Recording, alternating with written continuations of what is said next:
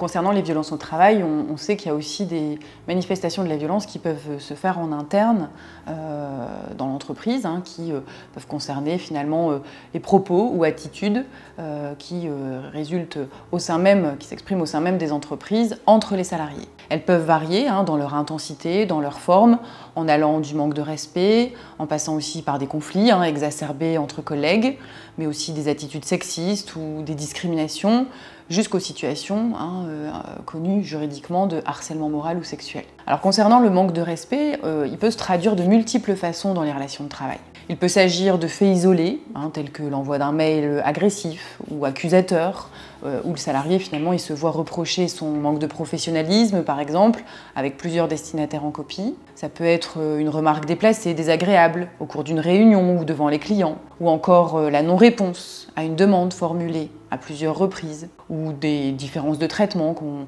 entend parfois dans le vécu des salariés entre les salariés d'une même équipe, ou ça peut être aussi bah, les promesses d'un responsable qui ne sont pas respectées et sans que bah, le salarié n'ait justificatif. Dans ces exemples, l'absence de considération finalement du salarié, associée parfois au manque de réaction de l'entourage professionnel lorsqu'il est témoin, euh, vient progressivement dégrader la qualité des relations au travail et, finalement la confiance accordée et ainsi favoriser euh, bah, ce que nous on observe, l'isolement, le repli sur soi euh, de la personne qui euh, se dit victime. Donc il y a deux aspects finalement à noter hein, qui sont importants selon nous à considérer dans la prévention de ces situations d'irrespect.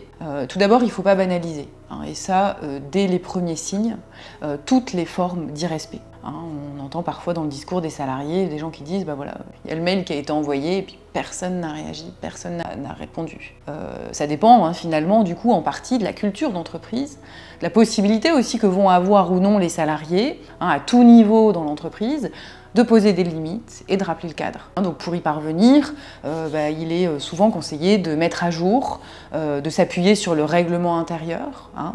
Ça peut être nécessaire.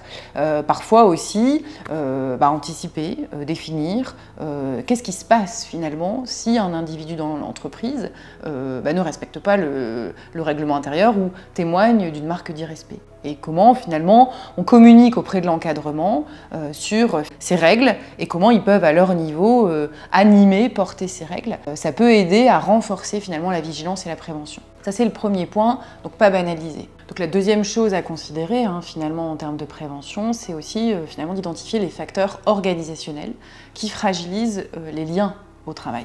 Le manque de respect émane souvent d'un ressenti négatif qui peut, dans le cadre professionnel, euh, trouver sa source dans euh, les contraintes vécues. Par exemple, euh, le manque de moyens, l'incertitude sur l'avenir, le manque de reconnaissance, la perte d'autonomie, les conflits éthiques. Autant de points à analyser et à approfondir pour améliorer les conditions de travail et réduire les marques du respect.